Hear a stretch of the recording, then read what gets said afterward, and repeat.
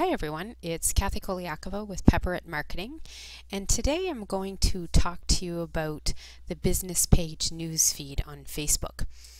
A lot of people have had a recent change happen in the past few months and are getting a little confused on where they can see what would have been called the news feed for their business page. So this would be the feed of other pages that your business page likes, which many people would use for their um, social media marketing and their networking time as their business page. So I'm going to show you where and how this comes into play and where you can find it now if it's made that change for you. So we're looking here at a Facebook business page and you can see I'm logged in as myself and in the olden days I would have gone over here and been able to log in as my business page and then it would have actually changed at that point my name up here to Pepperit Marketing. It's not doing that now. Another way I used to be able to get to it, I would hit the home and I would go over to my business pages and I would have the option over here to log into all of them. That too is gone. So what's happening is you still go to the page like you would have before and you'll come to your business page here. And so the change that has occurred is that instead of being able to click this home feed and see your feed of the other business pages you've liked, you're going to have to go to it from here on the left hand side of your menu bar.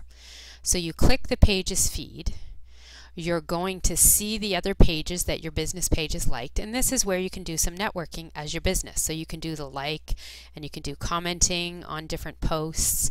You can share them. You'll see right now it's showing me by this little button here that I'm in Facebook as my business page. So I'm liking and commenting as Pepperit Marketing.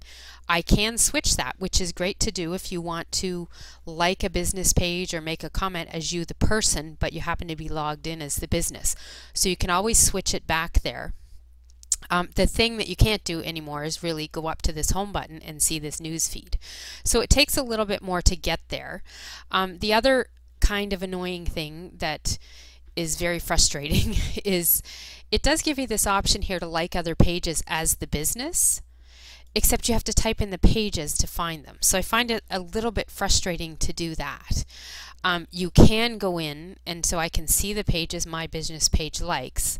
I could go up here and, um, you know, let's uh, let's pick up entrepreneur. We'll see what we can find here.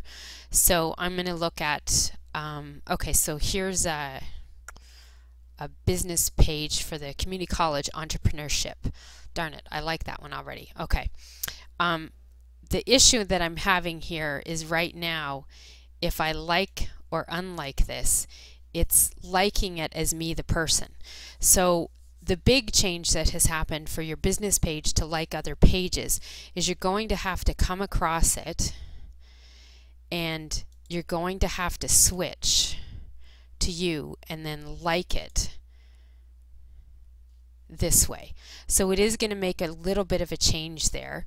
And to be honest, I'm still testing out if that even works for what I wanted to see. Lord. So we'll go back to my business. I'm in as the business now. I can see the other page feed. And I'll just see if we can look it for that community college. Let's see if I can type it up here, NSCC, entrepreneurship. And once I hit save, then essentially that's the way that I've liked the page as the business. And so now it's over here again. So it is a little bit more frustrating. It's a little more time consuming to get there, but it is still something as a business on Facebook you want to make sure that you're doing so that you're getting a bit of activity out there that link links back to your business as your business page name. So when people see me networking or posting on there, it's coming as Pepperit Marketing. So if somebody's wondering what that is, they can click the link and come back to my business page. That's why you want to be doing some of this type of networking as your business on Facebook. So hopefully that helps you figure out a little bit more on where did your business page newsfeed go and that is where it is and if you're looking for more tips and information please feel free to follow my blog at pepperitmarketing.com.